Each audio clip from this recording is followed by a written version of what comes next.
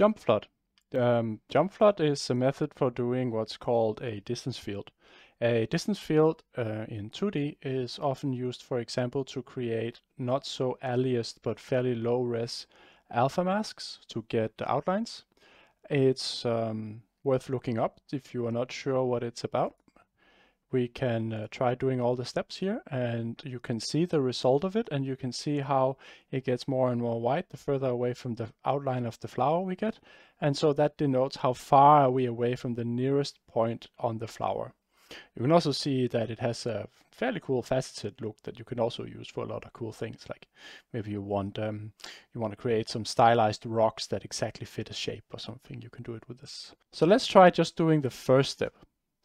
So the difference between the first step here and the first step over in the flood fill is that we're not just seeding a single pixel. We are seeding all the pixels that fall within the outline of what profile it is that we want to find the distance to. What we're seeding it with is a um, high value in the blue channel to indicate that this is inside our outline. This is inside the profile where we're finding the distance to. And then we're it's storing its own UV coordinate in the red and the green channel. So it's basically all it's doing It's just that it is testing if the value is high enough and if it is, it just takes the UV coordinate and puts that through. Otherwise it gives it black. So it just fills in everything with uh, the UV coordinate and a 1 in the blue channel if inside the outline or 000 if outside the outline. The idea here is that we can then test the blue pixels repeatedly and every time we do a kernel in much the same way as with the flood fill, but instead of just looking for if there is a value, we look at the UV coordinate of the found value and see if it's a UV coordinate that is closer to our currently processed pixel's own UV coordinate than what it might have beforehand or what another of its neighbors might have. The problem with that is that in much in the same fashion as with the flood fill, we would have to run quite a few iterations. And each iteration is a much more expensive because we're not just looking whether or not there is black or white in any of the eight neighbors. We're looking at whether we have to measure distance and do other arithmetics that just increase the cost of it. So suffice to say, it's a slightly expensive operation. But there is a way to speed it up, and that is what makes it a jump flood algorithm. And this jump part is quite ingenious. And let me just show that in Photoshop.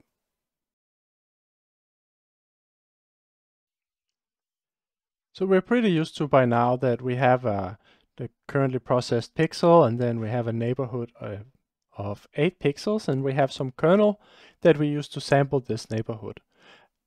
But if we want to start looking for something that might be halfway across the image, there is a better way of finding this that jump flood fill takes advantage of, and that is you can just choose to explode your kernel out. So they all go halfway across the image, half image, half half half image.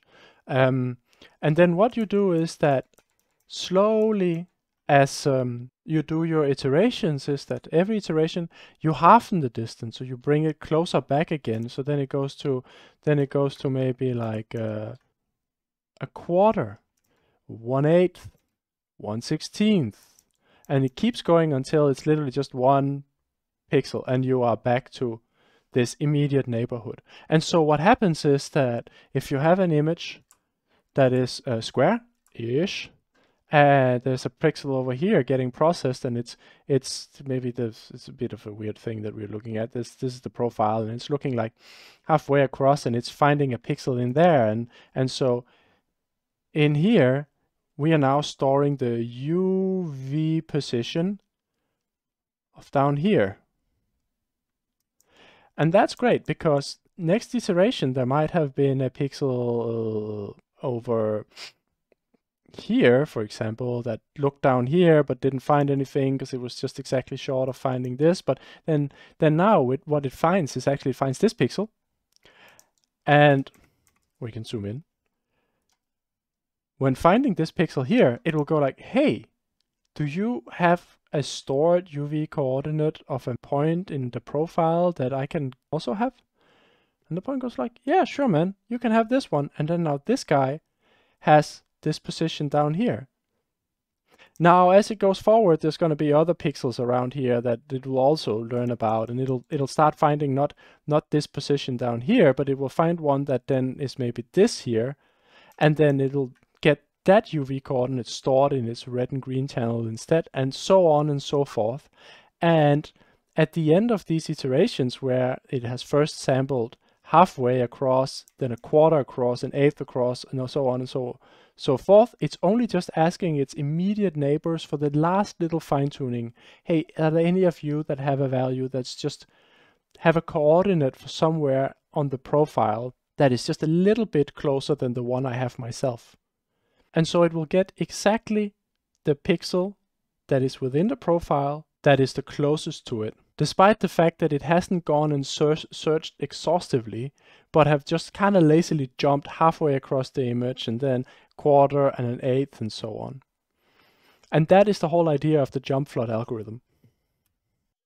So now let's try doing a few steps like uh, we do a single step here on top and you can see it looks like we are seeing the um, the same mid image superimposed but what's really happening is just that we are having all those black pixels out here have been jumping halfway across the image to over here and have found a, a match, right? It's not the closest one. I mean, obviously this one is closer to this in here, but on that first step, it's getting the one that's all the way over here, and now it has that coordinate available to all its neighbors to also find.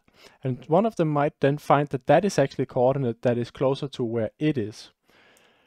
So we then do it at a smaller scale, smaller, smaller, smaller, smaller, yada, dada. Oh, now we start to see the outline. Oh, and now it's starting. Boom, we do the last step. So the last step that happens is the one where we actually get the distance. So at the point where every single pixel has then been asking all its immediate neighbors about the UV coordinate that they have that might be the one that's closest to itself and it now has the position of the absolute closest pixel in the profile to itself. Then it just measures this distance one last time and stores the distance.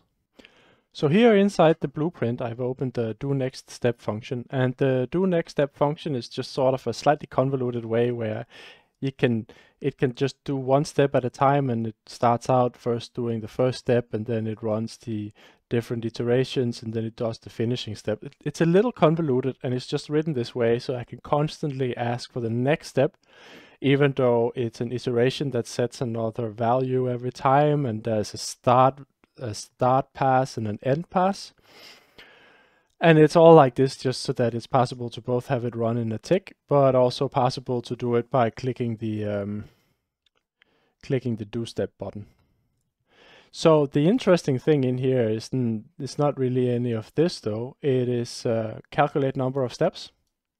And what this does is that it takes the log2 of the texture size and the value that comes back from this is basically the number of steps we have to do, because this is the number of times you can halven the texture size until you're down to one. So let's just have a look at the step material.